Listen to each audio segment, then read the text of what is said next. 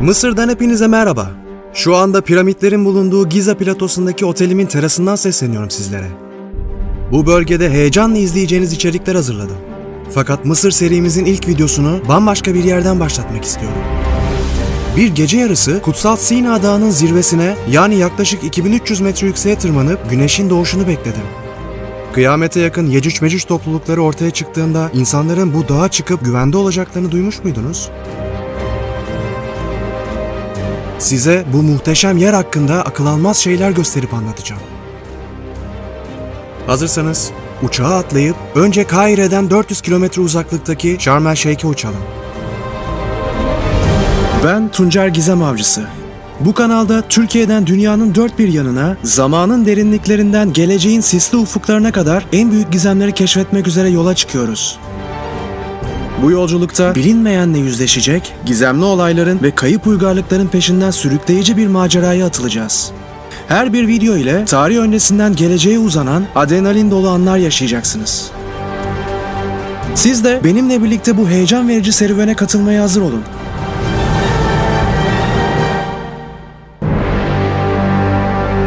Mısır Macerası Bölüm 1 Sina Dağı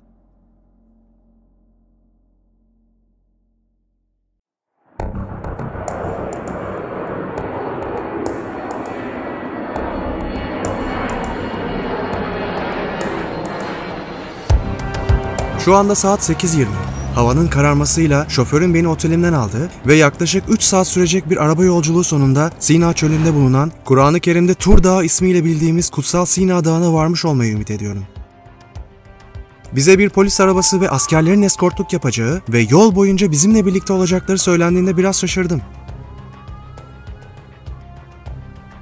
Bunu bize kendimizi güvende hissettirmek için yaptıklarını bildirdiler. Fakat aslında tam tersi hissettirdiğini söylemeliyim. Sık sık polis kontrol noktasıyla karşılaşacakmışız. Fakat esas zor olan yolculuk oraya ulaştığımızda başlayacak. Hedefimde gece yarısı 2300 metre yüksekliğe zorlu bir tırmanış ve güneşin doğuşunu Sina Dağı'nın zirvesinde izlemek, size de izlettirmek var. Ardından çıktığımız gibi geriye inip Sina Dağı'nın eteklerindeki tarihi St. Katerina Manastırı'nı ziyaret etmek istiyorum. Çünkü burada sizlere göstermek istediğim önemli detaylar var. Kur'an-ı Kerim'de bahsedilen ve Hz. Musa Aleyhisselam'ın Allahu Teala ile konuşup ayakkabılarını çıkardığı noktayı, yanan çalıyı ve ardından Hz. Musa peygamberin kuyusunu ziyaret etmek istiyorum. Ayrıca bu manastır ile Peygamberimiz Hz. Muhammed Aleyhisselatü Vesselam'ın bağlantısını duyduğunuzda şaşıracaksınız. Şimdi gelin dağa doğru yaptığımız araba yolculuğu sırasında kısaca Hz. Musa peygamberin Sina Dağı'na ulaşırken başına neler geldiğini bir kez daha hatırlayalım.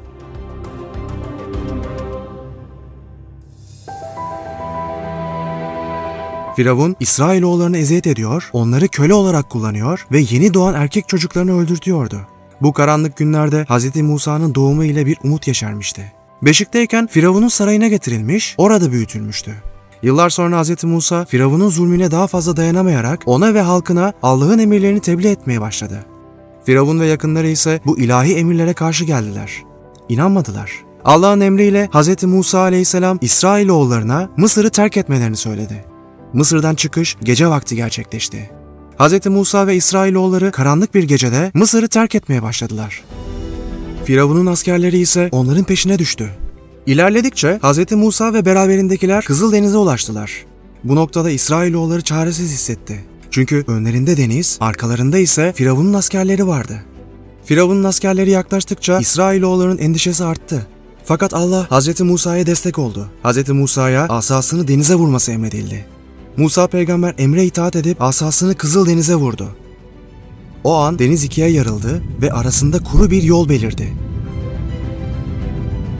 Bu mucize karşısında hem İsrailoğulları hem de Firavun'un askerleri şaşkına döndü. Hz. Musa ve İsrailoğulları Allah'ın yardımıyla denizin ortasında beliren kuru yoldan geçerek karşı kıyıya ulaştılar. Firavun ve askerleri ise onları yakalamak için denizin içine girdiklerinde deniz tekrar birleşti ve Firavun ile askerlerini yuttu. Böylece Hz. Musa ve İsrailoğulları Firavun'un zulmünden kurtularak özgürlüklerine kavuşmuş oldular. Fakat onları daha uzun ve meşakkatli bir yolculuk bekliyordu. Önlerinde Sina Dağı'na doğru ilerleyecekleri, imtihanlarla, mucizelerle ve Allah'ın emirleriyle dolu bir serüven vardı. Yolculuklarına devam eden Hz. Musa ve İsrailoğulları nihayet Sina Dağı'na ulaştıklarında burada onlara verilecek olan ilahi emirlerin hem kendi hayatlarını hem de tüm insanlığın kaderini belirleyeceğini henüz bilmiyorlardı. Bu ilahi emirler onları ve tüm insanlığı doğru yola, huzura ve adalete götürecek olan kılavuzları olacaktı. Nihayet ben de uzun süren bir yolculuğun ardından tıpkı Hz. Musa aleyhisselam ve İsrailoğulları gibi Sina Dağı'nın eteklerine varmış bulunmaktayım. Şu anda yürüdüğüm noktada Firavun'un zulmünden kaçmayı başarmış olan İsrailoğulları toplanmışlardı. Hz. Musa peygamber ise onlara burada beklemelerini ve kendisinin geri döneceğini söyleyerek az sonra benim de tırmanacak olduğum Sina Dağı'na tırmanmaya başladı.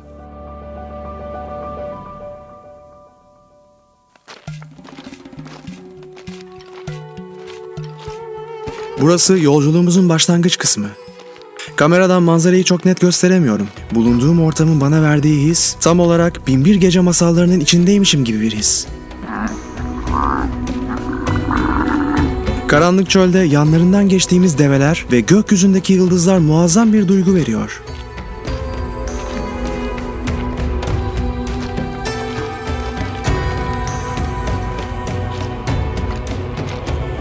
Az sonra bir yetkili esas karanlığın başlangıcından önce son bir bilgilendirme yapacak.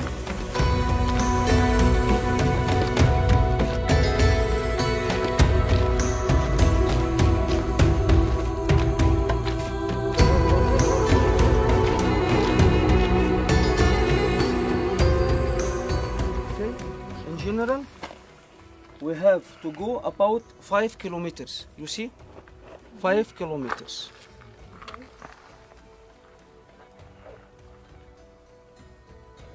In the end, in the end of our road, to be in the top of the mountain, you have to climb 750 steps.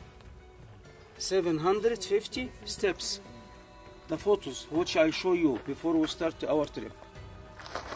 Where is Moses Mountain? Where is which one of them? Moses Mountain, the last one over there. This one, the last top.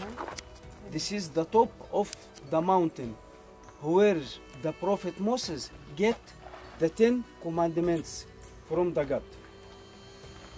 Okay, it was about 300, 3,200 years ago. 3,200 years ago. Bu arkadaşımızın ismi Yusuf. Sina Dağı'nda yaşayan bedevilerden biri. Zirveye kadar bize onun eşlik edip yolu göstereceği söylendi. Biz de düştük onun peşine. Uzunca bir süre onun ayaklarını takip edeceğiz.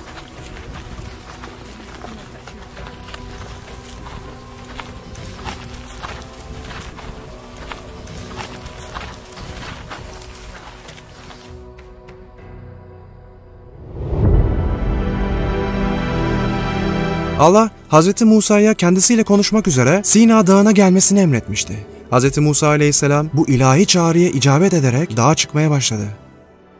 Dağın eteklerinde İsrailoğullarına kardeşi Hazreti Harun'u lider tayin edip onlara Hazreti Harun'un sözlerine uymalarını ve sabırla beklemelerini tembihleyen Hazreti Musa peygamber dağın zirvesine doğru uzun bir yolculuk yapmaya başlamıştı.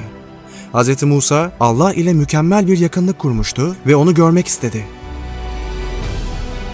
Ancak Allah Musa peygambere insanların dünya gözüyle kendisini göremeyeceğini bildirdikten sonra eğer dağ kendisinin tecelli etmesine dayanabilirse o zaman Musa'nın da kendisini görebileceğini söyledi. Allah dağa tecelli ettiğinde dağ parçalandı ve Musa aleyhisselam bunun üzerine bayıldı. Hz. Musa peygamber ayıldığında Allah'a hamd edip tövbe etti. Artık Hz. Musa aleyhisselam Sina dağının zirvesindeydi. Tıpkı bana da şu anda burada bulunmak nasip olduğu gibi.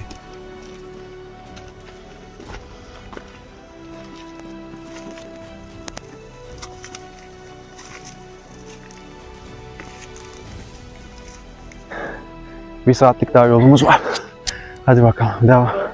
Fakat Hz. Musa aleyhisselam burada tam 40 gün kalacaktı. Ben ise güneşin doğuşuyla birlikte geri dönmeliyim. 40 günlük süre zarfında Allah Musa peygambere Tevrat'ı ve İsrailoğulları için gerekli olan ilahi emirleri verdi. Bu emirler İsrailoğullarının hem maddi hem de manevi yönden nasıl bir hayat sürmeleri gerektiğine dair kılavuzlar içeriyordu.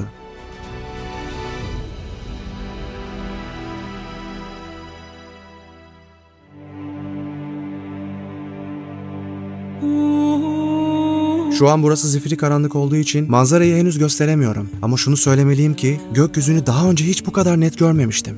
Ne demek istediğimi anlatabilmek için temsili bir görüntü göstermek istiyorum sizlere. Şu an yıldızları tıpkı bu şekilde görüyorum.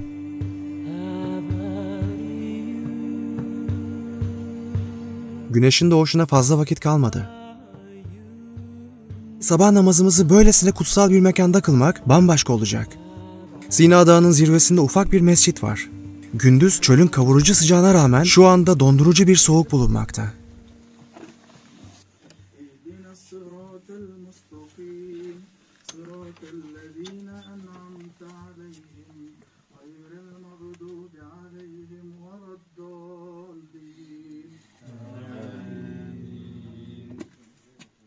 Saat beş buçuğa doğru ilerlerken namazın ardından kendime güzel bir köşe bulup güneşin doğmasını bekledim.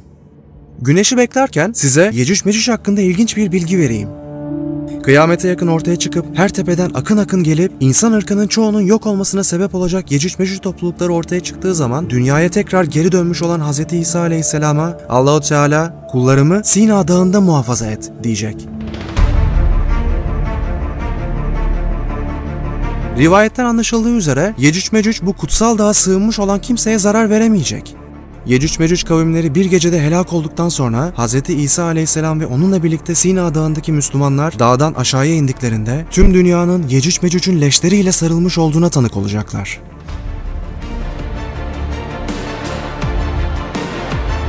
Neyse ki az sonra ben aşağıya indiğimde Yecüc Mecüc'le karşılaşmayacağım.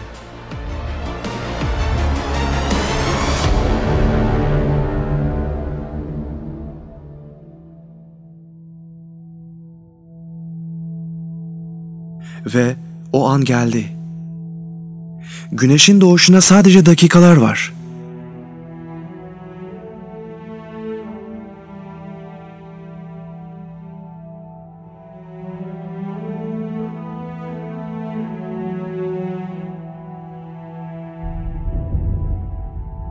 Allahu Teala ey Musa diye nida etti. Ben Allah'ım. Benden başka hiçbir ilah yoktur. Bunu duyan Musa aleyhisselam, buyur Rabbim, emrine amadeyim, diyerek secdeye kapandı. Allahu Teala, ey Musa, başını kaldır, diye buyurdu. Eğer sen benim gölgemden başka hiçbir gölgenin bulunmayacağı gün arşımın gölgesinde yerleşmek istiyorsan, yetime karşı merhametli baba gibi ol. Yarattıklarıma merhamet et ki merhamet olmasın. Ey Musa, ne amel edersen onun karşılığını görürsün. İsrailoğullarına şunu haber ver ki, kim Muhammed'i inkar edici olarak bana kavuşursa onu cehenneme girdiririm.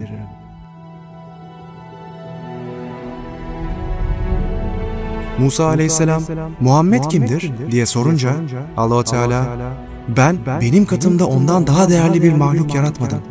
Gökleri, yeri, güneşi ve ayı yaratmamdan 2 milyon sene önce onun ismini kendi ismimle birlikte arşa yazdım.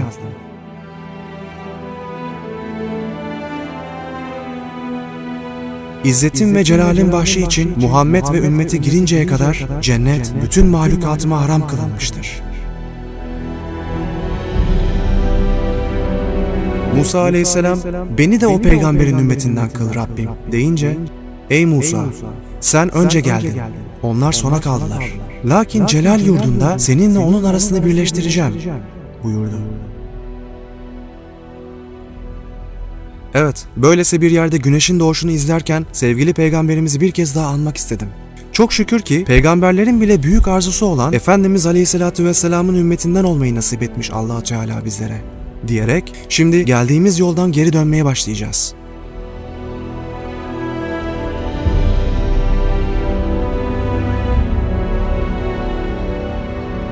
Aşağıda size göstermek istediğim çok önemli şeyler var.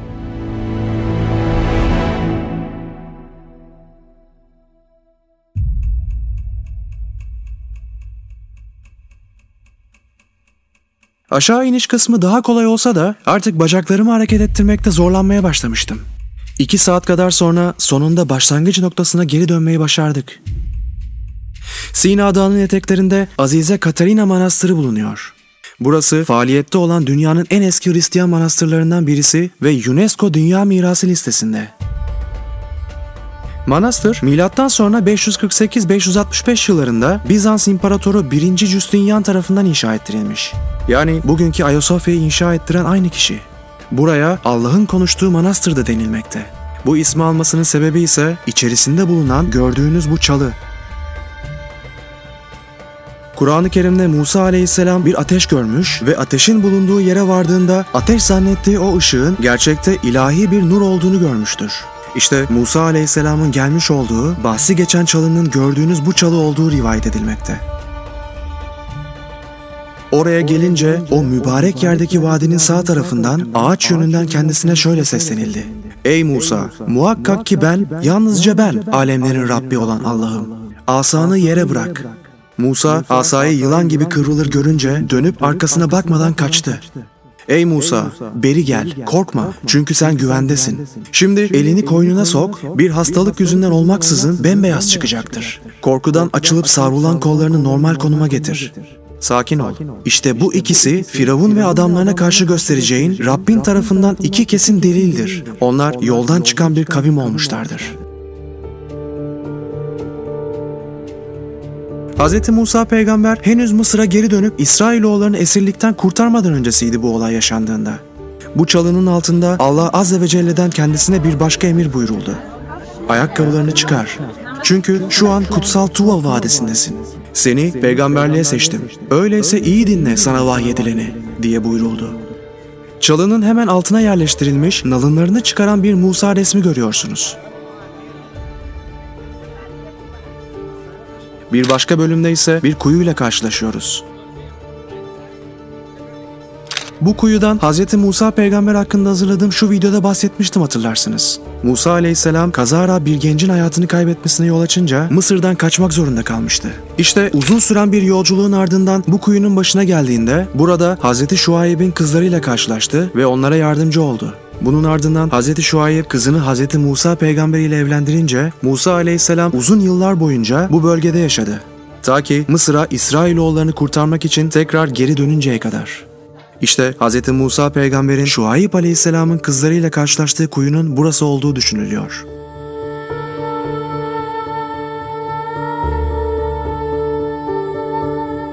Tabi şu an modern eklemeler bulunuyor üzerinde. Azize Katarina Manastırı hakkında bir diğer ilginç detay ise içerisinde bulunan Peygamber Efendimizin manastıra vermiş olduğu söylenen bir ahitname yani bir sözleşme bulunmakta.